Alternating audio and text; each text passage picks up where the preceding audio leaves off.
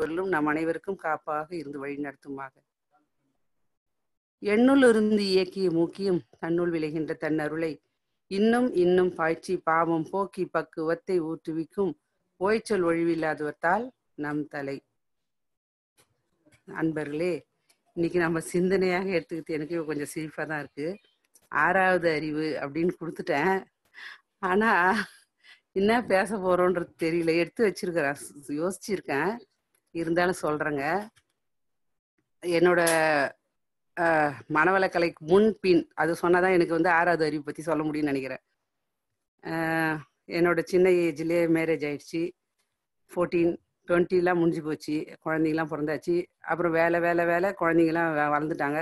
திரும்பி பார்த்தா எங்கள் வீட்டில் எல்லாருமே படிச்சுட்டு எஜுகேட்டடாக நிற்கிறாங்க ஏன் இது நான் எஜுகேட்டடாக நிற்கிறாங்க நான் என்னோட லைஃப்பில் நான் கரெக்டாக தானே இருக்கிறேன். அப்படியே போயிருக்கலாம் இல்லையா? ஆனால் அங்கே தான் ஆரம்பிச்சிச்சிங்க இந்த அறிவுன்ற ஒரு கொஸ்டினே மேக்ஸிமம் பார்த்தீங்கன்னா வீட்டில் இருந்த குத்துவேலுக்கு மாதிரி தான் நாங்களாம் இருந்தோம். நான் இருந்தேன். எனக்கு ஒன்றும் பெருசாக தெரியாது. இருக்கிறத வச்சுட்டு சிறப்பாக வாழணும். ஆனால் ஒன்று ரொம்ப பிடிக்கும். எனக்கு ரொம்ப பிடிச்ச விஷயம் அமைதி. அது எனக்கு ரொம்ப பிடிக்கும். வெளியே பேசுறதுக்கு ஒன்றா சிரிச்சிட்டு நல்லா இருப்பேனே ஒழிய ஆனால் எனக்கு மேக்ஸிமம் உள்ள எனக்கு அமைதினா அவ்வளோ பிடிக்கும். ஆனால் எங்கள் வீட்டில் வந்து கேள்வி எப்படி வந்துச்சு அப்படின்னா அறிவு இருக்கா? அறிவு இருக்கா? அப்படின்னு கேட்பாங்க. அப்போ எனக்கு ஒரு டவுட் வந்துச்சு. ஓஹோ நம்மளுக்கு அறிவு இல்லை. ஏன்? அப்படின்னா சின்ன வயசில் கல்யாணம் ஆயிடுச்சு. அதனால தான் அறிவு இல்லை. கரெக்ட் அவங்க கேட்கறதுல அவங்க அப்படி கேட்கறதாலே நான் செய்கிற வேலையெல்லாம் கூட நான் தப்பாக செய்கிற மாதிரி எனக்கு ஒரு ஃபீலிங் வரும். தப்பு செஞ்சிட்டணும் அப்படின்ட்டு. ஓகே நம்ம தம்பி நம்ம மாமா பையன் அவங்களாம் தான் என்னை சுற்றி இருந்தாங்க.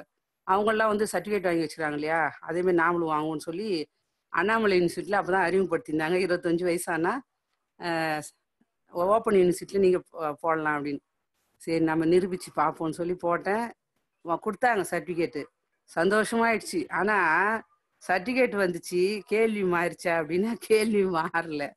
கேள்வி அதே கேள்வி தான் வந்துட்டு இருந்துச்சு. அப்பதான் மாறியது யார் அப்படின்னு கேட்டு கேட்டது அப்படின்னா மாற்றியது மனவள கலை அந்த இருபத்தஞ்சு வயசுல புரியல அறியல தெரியல யோசிச்சுட்டு இருந்தேன் எப்படி வந்து நான் லைஃப்பை எப்படி ஜர்னிங் பண்ண போறேன் எப்படி நான் உயர போறேன் நான் எப்படி வாழ்க்கை நடத்த போறேன் எனக்கு தத்தளிச்சிட்டு இருந்தேன் ஏன்னா எனக்கு வந்து சரியான ஒரு வழிகாட்டின்றது எனக்கு புரியலன்னு தான் சொல்ல முடியும். என்னை சுத்தி இருக்கிறவங்க நல்லவங்க தான் சொல்றாங்க. ஆனா என் அறிவு ஏத்துக்க மாட்டேங்குது. அப்ப மனவளக்கலை அப்படின்ற ஒரு தத்தளிச்சிட்டு இருந்த போட்ல எனக்கு ஒரு துடுப்பு மாதிரி மனவளக்கலை கிடைச்சி. இன்னொன்னு கேட்டுங்க தவான் கூப்பிட்டு தான் அந்த ஏரியா பக்கமே நான் திரும்பி கூட போயிருக்க மாட்டேன். எக்ஸசைஸ் வா அப்படின்னு கூப்பிட்டாங்க எங்க அம்மா. அதனால ஓடினேன் ஏன்னா எனக்கு உடம்புனா ரொம்ப பிடிக்கும். உடம்பு ஏன் பிடிக்கும் அப்படின்னா நோயற்ற வாழ்வே குறைவற்ற செல்வன் இன்னைக்கு நான் சொல்லலாம். ஆனா அன்னைக்கு அதை நினைச்சேன். ஆமா நம்ம நோய் இல்லாம மருந்து மாத்திரம் இல்லாத இயற்கையோட இயற்கையாகவே நம்ம வாழணுன்ற அந்த தன்மை ஒரு சின்ன ஒரு ஒரு பொறி இன்னைக்கு தீப்பொறியா மாறியது அப்படின்னா அதை மாற்றியது யார் அப்படின்னா மனவளக்கலையில குரு. அப்ப அந்த குரு எப்படி தராரு? அதாவது சொல்லுவாங்க ஒரு கண்ணாடி வேணும் அப்படின்னா ரெண்டு கண்ணாடி நம்மளுக்கு வேணுமா? நம்ம கண்ணாடி போடுறோம் அப்படின்னா ரெண்டு ஃபேஸ்ல போடுறோம் அப்படின்னா ஒரு கண்ணாடி குரு அருள் இன்னொரு கண்ணாடி திருவருள். அந்த குரு அருளும் திருவருளும் எனக்கு கருமைய தூய்மை காரணமாக கிடைச்சதால் தான் இன்னைக்கு நான் உங்க முன்னாடி உட்கார்ந்து பேசிட்டு இருக்கேன். எனக்கு அறிவு இருக்கா? இருக்கு நான் நம்பிக்கையோட சொல்றேன். ஏன் அப்படின்னா சம்டைம் பார்த்தீங்கன்னா அறிவு அமைதியாக இருக்கும். சம்டைம் வீறிட்டு கொண்டு எழுச்சிக்கும் சில டைமில் பார்த்தீங்கன்னா கோபப்படும். தேவையில்லைன்னு விட்டு கொடாச்சிடும் சில டைம் பார்த்தீங்கன்னா இதெல்லாம் என்ன நடக்குது? பெரிய விஷயமா? இதை விட பெரிய அறிவு எங்கே இருக்குது? பிரபஞ்சத்தில். நீ என்ன பண்ணுற ஒரு தூசு கூட இல்லை. அப்புறம் எதுக்கு அழட்டிக்கிறேன்னு என்ன நானே சமாதானப்படுத்திது என்னோட அறிவு எனக்கு பயன்படுகிறதே. அதை விட சிறப்பு வேற என்னங்க இருக்கு? ஏட்டு சுரக்காய் கறிக்கு உதவாதுன்றாங்க. இன்னைக்கு எத்தனை நியூஸ் எடுத்து பார்க்குறோம் பெரிய பெரிய படிச்சவர்கள் அறிஞ்சவர்கள்லாம் யார் ஒருத்தர் சமுதாயத்துக்காக தன்னை ஒப்படைச்சுக்கிறாங்களோ தன்னோட அறிவை இறைவன் எதை கொடுக்கின்றானோ அதை சமுதாயத்துக்கு யார் ஒருத்தர் கொடுக்குறாங்களோ அவங்க தான் வாழ்க்கையில முன்னுக்கு போயிட்டே இருக்கிறாங்க. நான் நிறைய பார்த்துருக்குறேன் என்னோட அனுபவத்துல. என்னோட அனுபவம்னா இந்த சின்ன வயசு அனுபவம் இல்லைங்க. மனவளக்கலைக்கு வந்த பிறகு. அந்த மனவளக்கலை என்ன ஒரு ஒரு வழியை அழகா எடுத்துட்டு போயிட்டே இருந்துச்சு பாருங்க. எனக்கு ஒரு இந்த மாதிரி ஒரு குரு கிடைக்க நான் எந்த ஜென்மத்துல என்ன புண்ணியம் பண்ணியிருக்கேன்னு தெரியல. ஒரு தடவை அறிவை பத்தி தான் பேசணும். ரோட்ல நடந்து போயிட்டே இருக்கிறேன். திடீர்னு ஒரு பிளாஷ் மாதிரி ஒரு மின்னல். என்ன சொல்லுது அப்படின்னா அறிவு கத்திக்கு ஒப்பிட்டு பேசு அப்படின்னு உண்மைதானே? கத்தி யார் கையில இருக்குதோ அதுதானே பயன்பெறும் அப்ப அந்த கத்தி நம்ம திருடன் கையில இருந்தா என்னாவும் ஒரு டாக்டர் கையில இருந்தா என்னாவும் அது போல என்னோட அறிவு நான் பயன்பாட்டுக்கு எடுத்துட்டு வந்ததானே? ஒரு பாடல சுவாமிஜி அழகா சொல்லுவாரு உணர்ச்சியாய் சிந்தனையாய் உள்ளதே அறிவென்று நினைந்திருந்தேன் பல நாள். மேலும் உண்மை விளங்க உணர்ச்சிக்கு முன்னும் பின்னே ஒழுங்காற்றலாய் விளங்கும் உனது திருநிலையை அறிவே என உணர்ந்தேன். இன்ப ஊற்றாய் நிறைந்த இறைவா. இதை விட வேற என்னங்க? உணர்ச்சி. சீ இந்த இதெல்லாம் ஒரு பொண்ணா அப்படின்னு வாழ்க்கையை வாழாம இன்னைக்கு என்னோட அறிவை கொண்டு நான் வாழறேன் அப்படின்னா இதை விட சிறப்பு வேற என்ன இருக்கு? ஆளும் வளரணும் அறிவும் வளரணும். அதுதாண்டா வளர்ச்சின்னு சொன்னாங்க. பட்டுக்கோட்டை கல்யாண சுந்தரம். அப்ப ஆளும் வளர்ந்தா போதுமா? அறிவு வளர தேவையில்லையா? அப்ப அதுக்குதான் என்ன சொன்னாங்க? சுவாமிஜி ஒரு பாடல கொடுத்துருப்பாரு. அறிவை புலன்களில் அதிக நாள் பழக்கினேன். அதன் பலன் உணர்ச்சிகள் அறிவை வென்றன. அறிவை அறிவால் ஆராய பழகினேன். அந்த நிலையிலும் புலன்களை இயக்கினேன். அறிவு அகண்டாகாரத்தில் நிலை பெற பெற அதிக பழக்கமும் விளக்கமும் பெற்றது. அறிவு புலன்களை அறிந்தது. வென்றது அமைதி விரும்புவோர் அங்கு வாருங்கள். அதினது அங்கு வாருங்கள். அப்ப என்ன பண்ணுச்சு? அறிவை புலன்களில் தான் நான் பழகியிருக்கிறேன். அந்த ஐந்து புலன்கள் வழியா நீ நாம பழகும்போது என்ன நடக்குதுங்க? கள்ள புலன் ஐந்தும் காணா மணி கண்ணால் காண்பதும் போய் காதால் கேட்பதும் போய் தீர விசாரிப்பதே மெயினியா சொன்னாங்க. அப்ப நான் பார்த்தது கேட்டது சுவைத்தது அதுதான் எனக்கு இன்பம் நினைச்சிட்டு இருந்தேன். ஆனால் சிற்றின்பம் என்பது எப்ப புரிஞ்சிச்சு? என்னை அது உணர்ச்சி வயப்பட வைக்கும் பொழுது. அதே வார்த்தை தான் இன்னைக்கு வருது. இன்னைக்கு மட்டும் அறிவு இருக்கான்னு ரோட்ல போறோம் சொல்றாங்க பஸ்ல போறோம் சொல்றாங்க. அது முன்னாடி அதுக்கு முன்னாடி எப்படி இவங்க சொல்லலாம்னு கேட்ட எண்ணம் இப்ப என்னதுங்க ஆமாங்க. தப்பு அவங்க மேல கொடுக்கும். ஆனா நாம என்ன பண்றோங்க? அந்த நேரத்துல நம்ம சமய அமைதியா போயிடணும். நம்மளுக்கு தேவை என்னோட ஜீவகாந்தம் செலவில்லாம இருக்க வேண்டும். நான் அமைதியாக இருக்க வேண்டும். எனக்கு இறைவன் ஒரு அனுபவத்தை கொடுக்கின்றான் அப்படின்னு சொல்ல நான் என்ன பண்ணுங்க? அதை நான் பற்றி கொண்டு அந்த இடத்துல நான் நிற்க வேண்டும். நான் நிற்க வேண்டும். என்ன இருக்கணுங்க மனவளக்கலை. அவர் கொடுத்த பயிற்சியை நான் ஃபாலோ பண்ணலன்னா அப்புறம் என்னால இருக்க முடியாதே. எனக்காக தானே மனவளக்கலை? மனவளக்கலைக்காக நான் இல்லையே. அப்ப உணர்ச்சியாய் முன்னாடி இருந்துச்சு. புலன்களில் அதிக நாள் பழக்கினேன் அதன் பணல் என்ன பண்ணுச்சுங்க? உணர்ச்சிகள் அறிவை வென்றன. கோவப்படுறோம் கவலைப்படுறோம் கஷ்டப்படுறோம். படுறேன் நான் பட்டேன். அதெல்லாம் என்ன நடந்துச்சு? நினைச்சு நினைச்சு நினைச்சு கவலைப்பட்டு கண்ணீர் விட்டுக்கிட்டு அது முன்னெல்லாம் ஆனந்தியா அழுவத்துக்கு ரெடியா இருப்பான்னுவாங்க. இப்பயா ஆனந்தியா? எனக்கே ஆச்சரியமா இருக்குது. அழுவுமா ஏன் அழுவே வரமாட்டேங்குது? கண்ணுல இருந்து ஏன் அழுகே வரமாட்டேங்குது? தெரியல அப்ப. தெரியாதனம் தான். அப்ப மாற வேண்டும் மாற வேண்டும். அறிவை உயர்த்த உயர்த்த உயர்த்த. எந்த அளவுக்கு நீங்க அறிவை இன்னைக்கு அழகான ஒரு தவம் பஞ்சபூத நவகர தவம் இதுல என்னங்க நடக்குது? அறிவு தானே எல்லாத்துக்குள்ளேயும் அந்த அறிவு தானே அந்த சுத்த வெளின்ற அந்த அறிவு எல்லாத்துக்குள்ளேயும் பயணம் செஞ்சு லாஸ்ட் எல்லாம் என்கிட்ட வந்திருக்குது. அப்ப அதான் ஒரு சொல்லுவாங்க. என்னது? இறைவன்து இறைவன் அதாவது முதல்ல பாத்தீங்கன்னா தாவரமாக இருக்கின்றான் கிடைக்கின்றான். அப்படித்தானே இருக்கிறோம் பிறந்த உடனே. அப்ப ஈரறிவு புழுவாக நெளிகின்றான். அடுத்தது என்ன பண்ணுங்க தவழுகின்றான். முட்டி போடுறோம். இந்த ஐ ஒரு அறிவு முதல் ஐந்து அறிவு வரை என்னென்ன நட நடக்கக்கூடிய நிகழ்ச்சிகள் அனைத்தும் எனக்குள்ள நடந்துச்சு இல்லையா குழந்தையில? இப்ப நான் என்ன நடந்தேன்னு எனக்கு தெரியாது. ஆனா என்னோட பேரம் பேத்தியோ இல்ல எதிர் வீட்டு குழந்தையோ நம்ம பாக்குறோம் இல்லையா? அதுக்கு முன்னாடி ஒண்ணுமே இல்லாத கிடக்குறாங்க பிறந்தவன குழந்தை. அப்புறம் அப்படியே தவழுது அப்புறம் முட்டி போடுது அப்புறம் நடக்குது. அப்புறம் ஆறாவது அறிவு படைத்த மனிதனாக எழுந்து நிக்கிறது ஏன் எழுந்து நிக்குது? ஓரறிவு தாவரம் பதிவு இல்லை இறைநிலை நோக்கி பயணம். இறைநிலையிலிருந்து வந்த தூய தூய ஆன்மா தூய ஒரு ஓர் உயிர் தாவரம் தாவரம் தாவர இனம். அப்ப ஆறாவது அறிவு மட்டும் ஏன் எழுந்துச்சு மீண்டும் இறைவனை நோக்கிய பயணமாக நீ போக வேண்டும் என்று. அப்ப நான் என்ன பண்ணுங்க? அந்த என்னோட அறிவை நானும் எப்படி வச்சுக்கோங்க இறைநிலை நோக்கி பயணமாக வச்சுக்கணும். வாழ் நிறைய பேர் சொல்லுவாங்க எதுக்கு மன்றத்துக்கு போற? எதுக்கு ஓடிக்கிட்டே இருக்கிற? அப்படின்னு சொல்லுவாங்க. எனக்கு நினைப்பேன் ஏன் நம்ம மன்றத்துக்கு போறோம்? ஏன் ஓடிட்டே இருக்கோம்? ஆனா என்னன்னு தெரியலையே. ஏதோ ஒரு ஏதோ ஒரு ஈர்ப்பு ஏதோ ஒரு சந்தோஷம் ஏதோ ஒரு ஒரு என்ன சொல்றதுன்னு தெரியல. எவ்வளவு விலை கொடுத்தாலும் இது கிடைக்குமா? இறந்த பின் சொர்க்கமா நரகமா தெரியலையே. ஆனா இருக்கும்போதே சொர்க்கம். எங்க இருக்கு? மனவளக்கலையில நான் இருக்கிறேன். எனக்குள்ள சுவாமிஜி இருக்காரு. என்ன வழி நடத்தி செல்கிறார்? அப்ப ஒரு அறிவுல இருந்து இப்ப ஆறாவது அறிவு படிச்ச மனிதனா வந்துட்டேன். அந்த அறிவை நான் எப்படி பயன்படுத்திக்கின்றது பொறுத்தனுக்கு படிச்சேன் வந்துச்சா அறிவு? இல்லையே. அப்ப எதை உணர வேண்டும்? அதுதான் சுவாமிஜி அடுத்து சொல்றாரு. அதன் பலன் உணர்ச்சிகள் அறிவை வென்றன. அறிவை அறிவால் ஆராய பழகினேன். என்ன பண்ணுங்க? வைரத்தை வைரத்தா தான் அறுக்க முடியும். கத்திய கத்தியால தான் தீட்ட முடியும். இதுவ மரத்தை வெட்டக்கூடிய கொடுவாவை மரத்திலே தீட்டுவாங்க. அது போல என்னோட அறிவை நான் என்ன பண்ணுங்க? பழக ஆரம்பித்தேன். அப்ப பழக பழக பழக நேற்று தவம் நே முந்தனத்து தவம் இன்று இப்ப தவம் நாளைக்கு ஒரு தவம் இருக்க இருக்க இருக்க உயர்ந்து கொண்டே செல்கிறது. அதான் சொல்லுவாராம் சுவாமிஜி. ஜான் ஏர்னா முழம் சறுக்கும் சராசரி மனிதனுக்கு. ஆனா நமக்குள் முழ ஏறுனா ஜான் சறுக்கும். அப்போ ஒரு ஜான் நமக்கு லாபம். கையை தூக்கி சொல்லுங்க. நான் மனவளக்கலைக்கு வந்து கெட்டு போயிட்டேன்னு யாராவது சொன்னீங்க அப்படின்னா அவங்கள நாம் என்ன சொல்றது? மனவளக்கலையை கலையை பயன்படுத்தவில்லை. பயன்படுத்த வேண்டும். பண்படுத்த வேண்டும். குரு என்பவர் நம்மளை பயன்படுத்துபவர் அல்ல பண்படுத்துபவர். அந்த குரு காட்டிய பாதையில் யார் செல்கிறாரோ அந்த வழிகாட்டிய மரமாக இருக்கக்கூடிய குரு காட்டிய பாதையில் யார் செல்கிறார்களோ அவர்கள்தான் வாழ்க்கையில் பண்பட முடியும்.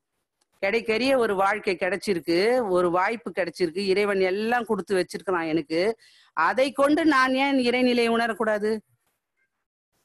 நான் சம்டைம் நினைப்பேன் தவமே செஞ்சுட்டு இருக்குமா அப்படின்னு. ஆனா தவமே வாழ்க்கையாக நினைச்சுக்குங்க. தவம் செய்யறோம் இல்லைன்னு சொல்ல முடியாது. சுவாமிஜி சொல்றதுதான் ஏ என்னது கை ஏட்டிலே என்னமோ அகண்டாகாரத்திலே. எல்லாமே நல்லா நடக்குதே. நான் அந்த எஜ்ஜை அடையணும் அப்படின்னு என்னோட அறிவு பிளான் பண்ணுதுன்னா எஜ்ஜை அடைகிறது. நான் சொல்றது இல்லை மேக்ஸிமம் நான் பார்த்தீங்கன்னா நான் ஃபேமிலியில மனவளக்கலை அப்ளை பண்ணக்கூடிய இடம் எதுன்னா சுவாமி சொல்லுவாரு ஃபேமிலியில வீட்டில் தான் ஏன்னா நான் நல்லா இருந்தா என் குடும்பம் நல்லா இருக்கணும். அப்போ என்னோட குடும்பம் நல்லா இருந்தா தான் என்னால் நான் சமுதாயத்தொண்டே செய்ய முடியும். அப்போ என்னோட குடும்பம் நல்லா இருக்கணும் நான் என்ன பண்ணுங்க? வார்த்தையால சொல்ல தேவையில்லை.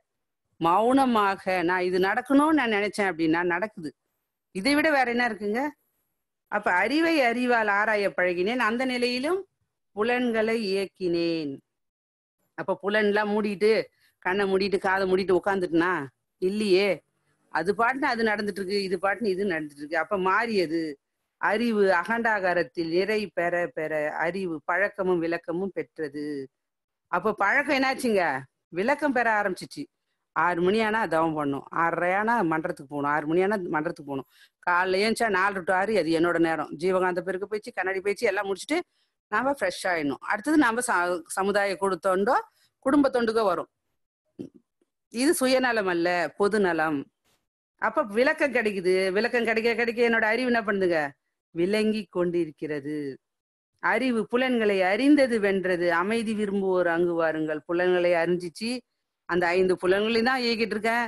சம் டைம் பார்த்தீங்கன்னா கண்ணு பார்க்குது ஆனால் எடுத்துக்க மாட்டுது. காது கேட்குது காது கிட்ட வருது வார்த்தை ஆனால் எடுத்துக்க மாட்டுது. அப்படியே வந்தாலும் வாழ்க வளமுடன். அவ்வளோதான் போயிட்டே இருக்குது. இல்லை அப்படின்னா நாம் நாம இருக்க முடியாதே. அப்ப அமைதி விரும்புவோர் அங்கு வாருங்கள்னா எங்க வரணுங்க? மனவளக்கலை மன்றத்துக்கு வாருங்கள். வந்து நாம் அந்த பயிற்சி எடுத்தோம் அப்படின்னா தான் சிறப்பாக நாம் உயர முடியும். அதுதான் ஒரு இது சொன்னாங்க. பதஞ்சலி யோகத்துல என்ன சொன்னாங்க? இயமம் நியமம் ஆசனம் பிரணாயமம் பிரத்யேகார தாரணா தியானம் சமாதி. இந்த எட்டும் அங்கங்களை கொண்டது பதஞ்சலி யோகம். இந்த எட்டு அங்கங்களையும் நீங்க செஞ்சாதான் நீங்க லாஸ்டா ஏழாவது கட்டத்துல இருக்கக்கூடிய தியானத்தையும் நமக்கு தருவாங்க. ஆனா நம்ம மனவள கலையில் என்ன பண்றாங்க? முதல்ல உடற்பயிற்சி கொடுத்து தீட்சை கொடுத்துட்றாங்க. ஏன்னா தீட்சையை தியானத்தை கொடுத்த உடனே தான் என்ன பண்றாங்க? அகினை துரியம் சாந்தி தான் கொடுத்த உடனே நம்ம இந்த இயமன் நியம்லாம் ஆட்டோமேட்டிக்கா வந்துருது. எப்படி வருது பாருங்க? இயமம் அப்படின்னா ஒழுக்க பழக்கம் வர ஆரம்பிக்குது. நீங்க தவத்தை எடுத்த உடனேயே ஒழுக்க பழக்கம் வர ஆரம்பிச்சிடுது. இப்படிதான் இருக்கணும் இப்படிதான் இருக்கணும் நம்மளுக்குள்ளே ஒரு ஸ்ட்ரெச்சர் வர ஆரம்பிச்சிடுது. அப்ப நியமம் அப்படின்னா நியதிப்படி ஜீவகாந்த பெருக்க பயிற்சி. நீங்க நல்ல ஜீவகாந்த பெருக்க பயிற்சி யார் ஒருத்தர் செய்யறாங்களோ கொஞ்சம் கூட சஞ்சலம் இல்லாத வாழ்க்கை வாழ்வாங்க. என்னை பொறுத்தவரை நான் டெய்லி செஞ்சுட்டு இருக்கிறது ஜீவகாந்த பெருக்கு பயிற்சி தான். நான் அப்போல்லாம் டே டைமில் ஆகும்போது நினைப்பேன் கடவுளே இதை எப்போ நிறுத்துவீங்க? நான் டெய்லி செய்யணும் டெய்லி செய்யணும். ஒரு பையன் வீட்டில் கண்ணாடி வச்சுட்டேன். ஏன்னா எடுத்துகிட்டு போக முடியாதுன்னு அவன் சொந்த வீடுன்றதால. ஒரு பையன் கொஞ்சம் அப்பப்போ மாறிட்டே இருப்பான்றதால அவங்க வீட்டில் தீப பயிற்சி நம்மளுக்கு ஈஸியாக இருக்குது தீப பயிற்சி வச்சுட்டு செய்யுங்க. எந்த அளவுக்கு அந்த ஜீவகாந்த செறிவு நம்மக்கிட்ட இருக்குதோ அந்த அளவுக்கு அறிவு மேம்படும். அந்த அறிவு தவமாகட்டும் அறிவு மேம்பாடா இருக்கட்டும் எதையும் கண்டு சஞ்சலம் இல்லாத அமைதியான மனநிலை இருக்கணும் அப்படின்னா ஜீவகாந்த பெருக்க பயிற்சி கண்டிப்பாக முக்கியமாக செய்யக்கூடிய ஒரு அருமையான வள்ளலார் செஞ்ச பயிற்சி. அப்ப ஆசனம் ஆசனத்துக்கு தான் நம்ம என்ன பண்ணாங்க? உடற்பயிற்சி கொடுத்துருக்காங்க சுவாமிஜி. இப்ப பாருங்க அந்த பதஞ்சலி யோகமும் நம்மளுக்குள்ள வர ஆரம்பிச்சிச்சு. உடலை வளர்த்தேன் உயிர் வளர்த்தேனே.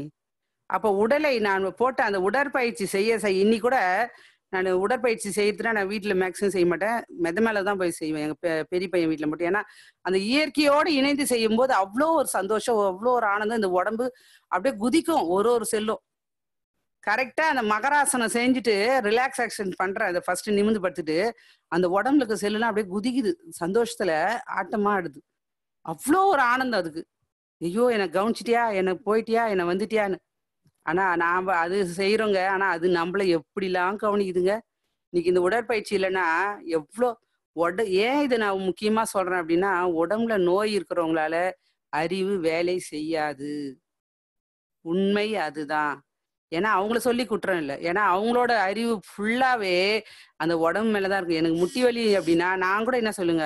ஐயோ எனக்கு முட்டி வலி வந்துச்சே முட்டி வலி வந்துச்சே நான் என்னோட அறிவு இங்கதான் போகுமே ஒழிய மேம்பாடு வராது. நாம ரமணராக மாறணும் அப்படின்னா என்ன பண்ணுங்க? தவத்தால் பிரகாசிக்கும் வாழ்க்கை அப்படின்ற மாதிரி தவம் செய்து செய்து தான் நான் என்னோட உடலையும் சரி நீங்க உடற்பயிற்சியே ஒரு தவமாக செய்யுங்க. உடல் எந்த அளவுக்கு பலமாக இருக்குதுன்றத நீங்க கண்கூடாக பார்ப்பீங்க. அதே மாதிரி பிராணாயாமம். பிராணாயம்னா என்ன பண்ண நம்மளுக்கு என்ன சொன்னாங்க இப்பதான் நாடி சுத்தி தண்டுவடை சுத்தி நல்லா மூச்சு பயிற்சி பண்றதால தான் கொரோனா வாயுலேருந்து நான் கொரோனாவிலேருந்து இன்னைக்கு என்ன பண்றோங்க? தப்பிச்சிட்டுறதுக்கு காரணம் என்னங்க? உடற்பயிற்சி.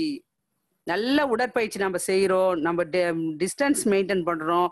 ஒழுக்க பழக்கங்கள் நமக்குள்ள இருக்கிறதால தான் இன்னைக்கு நம்மளுக்கு அந்த லைஃப் அது வராது. அருமையாக இருக்கிறோம்.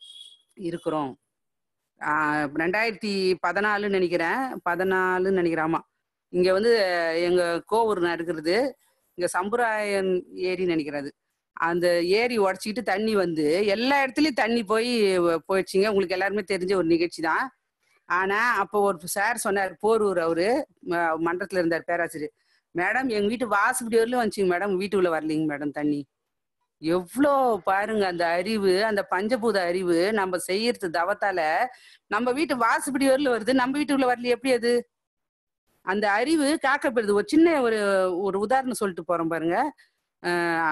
அரவிந்தர் ஆசிரமம் கட்டுறதுக்காக நிவேதிதா மேடம் கடற்கரையில க- கட்டடம் கட்டிட்டு இருக்காங்களாம் அந்த கட்டடம் வந்து இடிஞ்சு இடிஞ்சு போதுங்களாம். அந்த அதுக்கு தடுப்பு சுவரை. இவங்க என்ன பண்றதுன்னு தெரியல. அந்த கடல் கிட்டே பேச ஆரம்பிச்சிட்டாங்க.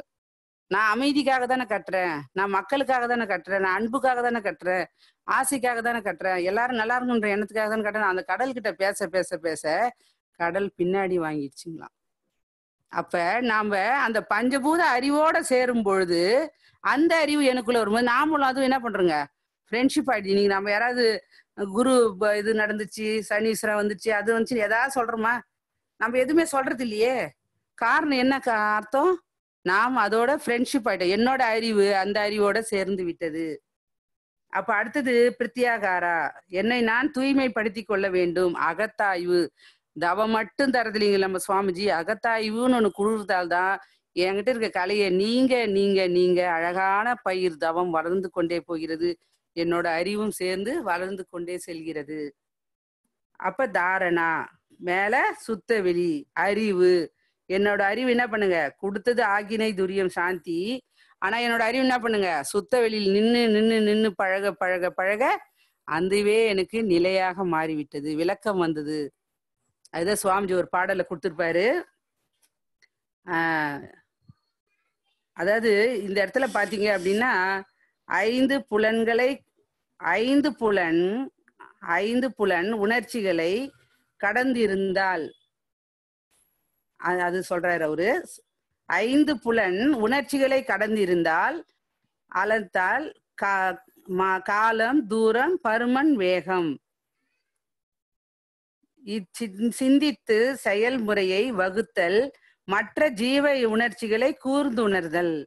எங்கு ஒரு நிகழ்ச்சிக்கும் எந்த ஒரு நிகழ்ச்சிக்கும் காரணத்தை யூகித்து உணர்ந்திருந்தல் அனுபவத்தால். வந்த பயன் தெளிவுகளை பிறர்க்கு உணர்த்தும் வல்லமை இவை ஆறாம் அறிவின் மேன்மை. ஐந்து புலன்களை ஐந்து புலன்களை உணர்ச்சிகள் கடந்திருந்தால்.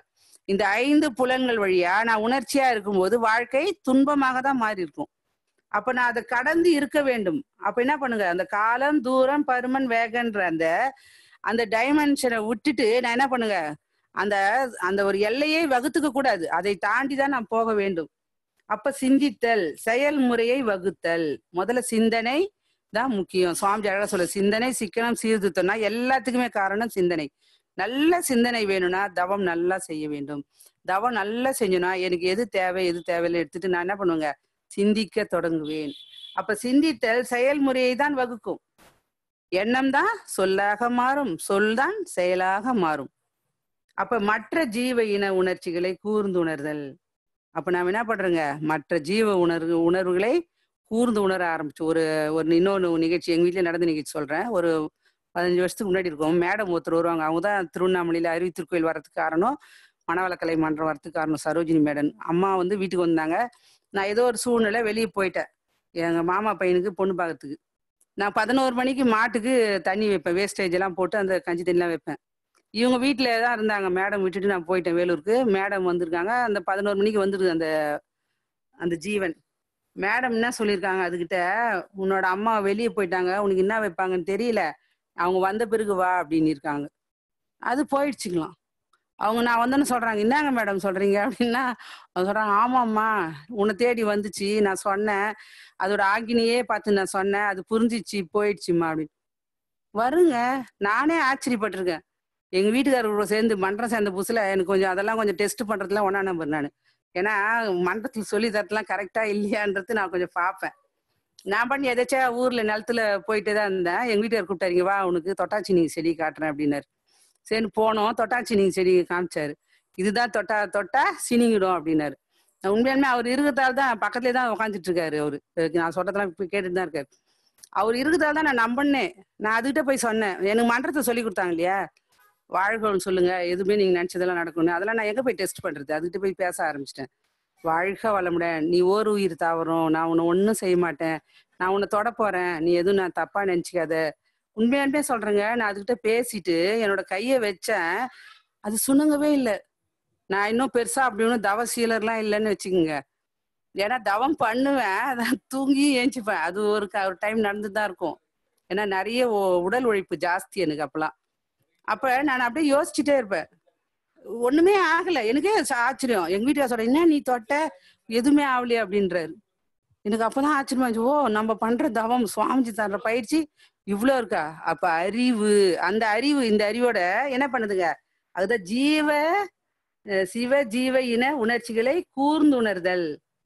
எந்த ஒரு நிகழ்ச்சிக்கும் காரணத்தை யூகித்து ஒரு நிகழ்ச்சி நடக்குதுன்னா சரி எல்லாம் நன்மைக்கே அப்படின்னு நினைச்சிட்டு போயிட்டே போ- போயிருங்க. அதான் சொன்னாங்க முக்காலம் உணர்ந்த ஞானின்னு. நான் இப்போ அதாவது நாம நினைச்சுக்கிறது போன ஜென்மம் இந்த ஜென்மம் அடுத்த ஜென்மம் அதெல்லாம் கிடையாதுங்க. இந்த செகண்ட் என்ன நடக்குதோ அதுக்கேற்ற மாதிரி நம்ம நினைச்சிட்டு அதுக்கேத்த காரணத்தை நினைச்சிட்டு விட்டு கொடுத்துட்டு போயிடுங்க. அந்த விட்டு கொடுக்குற தன்மை மட்டும் நம்ம கிட்ட வந்துச்சுன்னா இதை விட சிறப்பு வேற எதுவுமே இல்லைங்க. வாழ்க்கை என்பது எந்த செகண்ட் ஒன்னா எப்போ வேணாலும் முடிஞ்சிடும் அப்ப நான் என்ன பண்ணுங்க? இருக்கும் போதே நான் சிறப்பாக வாழ்ந்துட்டேனா இதை விட சிறப்பு வேற எதுவுமே கிடையாது. அப்ப உணர்ந்திருந்தல் அனுபவத்தால். நாம தானே அனுபவம் பெறுறோம். மத்தவங்க எல்லாம் சொல்லக்கூடாது. சுவாமி சொல்றாரு குடும் உங்களோட இது மனவள கலையில நீங்க கரெக்டா இருக்கீங்களா அப்படின்னா நான் மனவள கேட்க மாட்டேன். உங்க ஃபேமிலியில தான் போய் கேட்பேன் அப்படின்னு அப்ப அந்த அனுபவம் நம்மளோட அனுபவம் நம்ம குழந்தைங்களுக்கு கொடுக்கணும் அடுத்த ஜெனரேஷனுக்கு வந்த பயன் தெளிவுகளை பிறருக்கு உணர்த்தும். ஏன் தெளிவுகளை பிறருக்கு உணர்த்தும்? மனவளக்கலை சேர்ந்த புதுசுல ஆசிரியர் போன தடவை ஸ்பீச்சில் சொல்லியிருக்கேன் நினைக்கிறேன். ஆசிரியர் இது புது ஜூம்ன்றதால் உங்களுக்கு இது ஒரு தடவை சொல்லிக்கிறேன். ஆசிரியர் பேச்சுக்கு போக மாட்டேன்னு ஒரே அமக்கலம் நான். ஏன் அப்படின்னா வந்து உட்கார்ற பேராசிரியர் பெருமக்கள் அனுபவம் அனுபவம் அனுபவம். அப்படியே பிரமிப்பா இருக்கும் எங்களுக்கு. நான் மன சுவாமிஜியை நான் அப்புறம் தான் பார்த்தேன். அகத்தாய்வு தானே நடக்குது முதல்ல. எங்கிருந்தோ வராங்க. அவங்க அனுபவத்தை சொல்றாங்க. நடந்த நிகழ்ச்சி சொல்றாங்க. அப்ப அவங்க நடந்துட்டு சொல்லிட்டு இருக்கும்போதே நடந்த நிகழ்ச்சிகள் நடக்குது கண்ணுக்கு நேடா நான் எப்படி இதெல்லாம் நான் செய்ய முடியும் செயல்படுத்த முடியும்? ஆனா என்னை கெஞ்சி தான் அமிச்சாங்க எங்க ஊர்ல. ஏன்னா வந்து சுவாமிஜி அப்ப சொல்லிட்டாரு பெண்களுக்கு பெண்கள் தான் தவம் தரணும் அப்படின்னு. எனக்கே கொடுத்தது ஒரு ஜென்ஸ் தான் எங்க ஊர் பொறுப்பாசிரியர் தான். சரி ஓகே அப்படி சொல்லி அதுக்காக மட்டும் தான் போவேன். சாந்தி தவம் எங்க ஊர்ல ஸ்பீச் கிடையாது அப்பெல்லாம். தவம் பண்ணுவேன். மற்றபடி பெருக்குவேன் கழுவேன் எல்லாருக்கும் போய் நோட்டீஸ் கொடுத்து அதெல்லாம் எனக்கு ஒரே ஜாலியா இருக்கும். ஏன்னா எனக்கு கிடைச்சிச்சு. ஏன் பெற்ற இன்பம் பெருகு வையகன் அந்த வேலையெல்லாம் கரெக்டா செய்வேன். ஆனா அறிவோட பேசு அப்படின்னா ஐயோ எனக்கு அந்த அளவுக்கு அறிவு இல்லைன்னு ஒதுங்கிடுவேன். ஒரு நாள் பேசினேன். எங்க வீட்டுக்காரர் அசந்து போய் ஜுரமே வந்துச்சு அவரு. எனக்கே ஆச்சரியம். நாமளா பேசணும் அப்பதான் தெரியுது. சுவாமிஜி நமக்குள் இருக்கின்றார். உழைக்கிறது நம்ம வேலை. எடுத்து கொடுக்கறது அருள் தந்தை அவர்களின் வேலை. அருள் தந்தையோட குரு அருள் நமக்கு என்னைக்கு தீட்சை கொடுத்தாங்களோ அன்னைக்கே நமக்குள் வந்தது. குருவா வந்து கொடுத்தாருங்க. குரு பரம்பரையா இருக்கக்கூடிய பேராசிரியர் பெருமக்கள் ஆசிரியர் பெருமக்கள் இன்னைக்கு எனக்குள்ள வந்து நான் நிறைய பேருக்கு கொடுத்து அவங்க மூலியம் போயிட்டு இப்படி தானே அப்ப நாம எல்லாம் ஒரு தாய் மக்கள் தானே? அப்ப வல்லமை இவை ஆறாம் அறிவின் மேன்மை. அப்ப வாழ்க்கைக்கு பயன்படுறது தான் அறிவின் மேன்மை. அப்ப நான் வாழ்க்கையில பயன்படுத்தணும்னா என்னோட அறிவை கொண்டுதான் நானு சிறப்பாக வாழ வேண்டும். அதுக்குதான் மனவளக்கலை. அதாவது சில பேர் பாத்தீங்கன்னா இது சொல்லுவார் சிவவாக்கியர் ஓடி ஓடி ஓடி ஓடி உட்கலந்த ஜோதியை நாடி நாடி நாடி நாடி நாட்களும் கழிந்த போல் வாடி வாடி வாடி நின்ற மாண்டு போன மாந்தர்களால் கோடி கோடி கோடி கோடி எண்ணிருந்த கோடியே. ஓடி ஓடி ஓடி ஓடி உட்கலந்த ஜோதியைனா நமக்குள்ள இருக்கக்கூடிய ஆன்மாவை நான் உணர வேண்டும். சிவம். அந்த சிவத்துல மேல இருக்கக்கூடிய அந்த கோல் எடுத்துருங்க. என்னைக்கோ அடுத்தது நடக்க போறதுதான் சாபம். அப்ப எனக்குள்ள இருக்கக்கூடிய அந்த உயிர் மூச்சை நான் பிடிச்சிட்டேன் அப்படின்னா சிவநிலையை இறைநிலையை ஜோதியை நாம் உணர தொடங்கிட்டோம்னா என்னோட அறிவு செயல்பட தொடங்கும் ஒவ்வொருத்தரும் ஒரு அறிவு திருக்கோயிலாக தான் மாறணும்னு இருப்பாருங்க சுவாமிஜி. விவேகானந்தர் என்ன சொன்னாரு? எனக்கு பின்னாடி நூறு வருஷம் கழிச்சு ஒரு மனிதர் வருவார். அவர் அறிவுத்துக்கு அறிவுக்கு திருக்கோயில் கட்டுவார்னாங்க இன்னைக்கு அறிவு திருக்கோயில் தானே? அவங்கவுங்க அறிவு நாம் நடமாடும் அறிவு திருக்கோயிலால மாறிட்டு இருக்கோம். அப்போ நாடி நாடி நாட்களும் கழிந்தது போல. நான் நாடல ஆனா நான் பக்தி மார்க்ல அவ்வளவு பெரிய ஆள்லாம் நான் சொல்ல முடியாது. ஓட மாட்டேன். எனக்கு அதெல்லாம் பிடிக்காது. ஏன்னா நான் ஒழுங்கா இருக்கிறேன் அப்படின்னா அதுவே போதும். கடவுள் புண்ணியத்துல உடம்புக்கு ஒண்ணும் வரல. அதனால மண்டத்துல வந்து சேர்ந்தா இன்னைக்கு அது வரலாம் மெயின்டைன் பண்ணிட்டு தான் வருது இரையாற்றல். அப்ப வாடி வாடி வாடி நின்ற மானு மாண்டு போன மாந்தர்களால் கோடி கோடி கோடி கோடி எண்ணி இருந்த கோடியை ஓடுறாங்களே. ஓடுறாங்களே. கஷ்டமா தான் இருக்குது மனசுக்கு வலிக்குது. அந்த அறிவு உங்ககிட்டயே இருக்குதே. இறைவன் உங்ககிட்டயே இருக்கிறானே. உறைவாக இருக்கிறானே. உயிராக இருக்கிறானே. மனமாக இருக்கிறானே. அறிவா இருக்கிறானே. அதை நீ புரிஞ்சிக்க மாட்டியா? தெரிஞ்சுக்க மாட்டியா? ஓடுறியே. இது எப்படி நான் உணர்த்துவேன்? எல்லாருக்குள்ளயும் எல்லாருக்குள்ளயும் அந்த ஏக்கம் இருந்து கொண்டுதான் இருக்கிறது. அதுதான் சொல்லுவாங்க. காரைக்கால் அம்மையார் சொல்லுவாங்க அறிவானாலும் தானே அறிவிப்பான் தானே. அறிவாய் அறிகின்றான் தானே. அறிகின்ற மெய்ப்பொருளும் தானே. விரிச்சுடர் ஆகாசம் ஆகாசம். அப்பொருளும் தானே அவன் காரைக்கால் அம்மையார். அறிவானவன் தானே அறிவிப்பான் தானே. அவனே அறிவாக நீக்கமர எ- எள்ளுக்குள் எண்ணெயாக இருப்பது சொல்லுவாங்க. என்னது? என்னது? புல்லா க- என்னது? க இருங்க ஒரு நிமிஷம். இறைவன் எல்லா இடத்துலயும் இருக்கிறான். தூணிலும் இருப்பான் துரும்பிலும் இருப்பான்னு சொல்றாங்க. அணுவாக இருப்பவன் அவன்தான். அந்த அணுவின் கூட்டாக இருப்பவன் அவன்தான். அந்த அணுவின் கூட்டமாக பஞ்சபூதாகம் ஆனதும் அவன்தான். நமக்குள் இருப்பதாகவும் அவன்தான். அதான சொன்னாங்க? இயக்கம் துல்லியம் சமதள சு- சீர்மை. அப்ப இயக்கமாக இருப்பதும் அவன்தான். துல்லியமாக எடை போட்டு ஒரு துளி விந்து நாதத்துல உருவாக்குனது இந்த உடல் இந்த அறிவு எவ்வளவு பெரிய ஆற்றலாக உயர்ந்து நிக்கிறது? எப்படி இதெல்லாம் இறைவன் கொடுக்குறான்? நான் காரைக்கால் அம்மையாரும் ஔவையாரும் அவ்வளவு ஆச்சரியப்படுவேன். எல்லா வசதியும் அப்ப நாம் நாம ஓடுவோம். நாம இங்க எங்க ஊர்ல திருவண்ணாமலை நான் கால் மணி நேரத்துல ஒரு மன்றம் அரை மணி நேரத்துல ஒரு மன்றம் எதுவும் ஆட்டோ எல்லாம் பிடிச்சாலிங்க நடராஜா சர்வீஸ்ல சூப்பரா போயிடும் நான். மிஞ்சி போனா ஒரு மணி நேரத்துல ஒரு மன்றம். அப்படிதான் நான் போயிட்டு இருப்பேன் ஆனா சென்னைன்னு பயந்துட்டேன் நான். ஐயோ சென்னையிலயா வாழ்கோம் ஏங்க மன்றம் அப்படின்னு எடுத்தோடனே. மன்றமே எனக்காக வந்துச்சுங்க. அரை மணி நேரம் தூரத்துல போரூர்ல ஆரம்பிச்சாங்க குறிஞ்சி நகர்னு. இன்னைக்கு சிறப்பா தான் நடந்துட்டு இருக்கு அப்ப அந்த இறைவனை நோக்கி நான் போனோம்னா இறைவன் என்னை நோக்கி நூறு அடி எடுத்து வைக்கிறாரே. அப்ப அந்த அறிவு அறிவு அறிவிப்பான் தானே. நான் இருக்கிறேம்மா நீயா வா என்கிட்ட வா. உனக்கு அறிவு தானே உணவு அள்ளி அள்ளி வழங்குறேன். கொடுக்குறார். கொடுத்து கொண்டே இருக்கிறார். சில டைம் பாத்தீங்கன்னா சம்டைம் யாராவது கேள்வி கேட்டா நான் பதிலே சொல்ல மாட்டேன். ஏன்னா தப்பான ஒரு பதில் சொல்லி ஏதாவது பிரச்சனை ஆகி போச்சுன்னா என்ன பண்றதுன்னு. அதுவும் நம்மளுக்கு நல்லது தான் நடக்குது. அப்ப அறிவாய் அறிகின்றால் தானே அவன் தானே அறிவு அறிவாக இருந்து என்கிட்ட அறிவாக இருக்கின்றால் தானே அறிகின்ற மெய்ப்பொருளும் தானே விரிச்சுடர். சரமுடி சரமுடிவை முடிச்சு பரவெளியோடு நான் ஒன்றினேன். சரத்தை பிடித்து பரத்தை பிடித்தேன். சரத்தை எனக்குள்ள இருக்கக்கூடிய சரத்தை பிடிச்சேன் அடுத்தது என்ன பண்றாங்க பரவெளியோடு ஒன்றினேன். எவ்வளவு உணர்ந்து எழுதியிருக்காங்க பாருங்க. அந்த ஆகாசம் ஆகாசம். அப்ப அந்த ஆகாசத்தை இந்த ஆன்மா எனக்குள்ள சித்தாகாசமாக இருந்தத சீய சீய எடுத்துட்டு நான் ஆகாசமாக மாறினேன். அப்ப அப்பொருளும் தானே அவன் அவன். அந்த இறைவன் அறிவு அந்த அறிவு சுத்தவெளி என்கின்ற அறிவு எனக்குள் இயங்கிக் கொண்டிருப்பதை நான் உணர்ந்து கொண்டேன். அப்ப அதுதான் சுவாமிஜி அழகா சொல்லுவாரு ஒரு பாடல சொல்லுவாரு.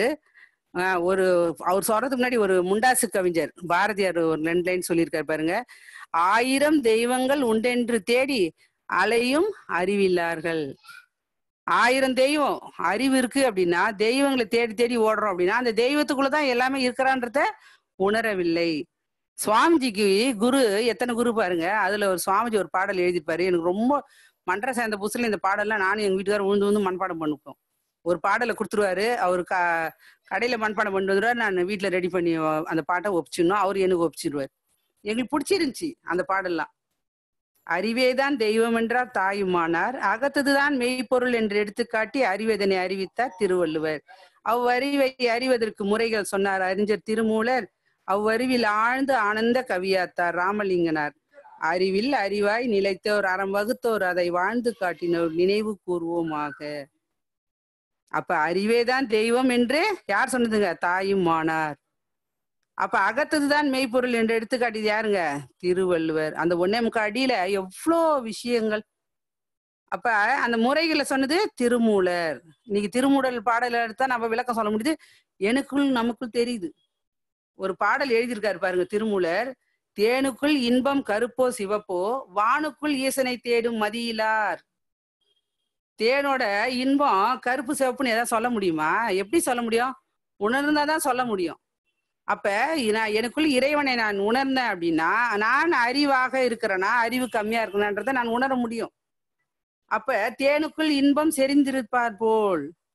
தேனுக்குள் எப்படி அந்த இனிப்பு இருக்குதோ அது போல் ஊனுக்குள் ஈசன் ஒளிந்திருந்தானே. பாமர ஞானியர். அந்த பாடல எப்படிதான் எழுதியிருப்பாரு தெரியல?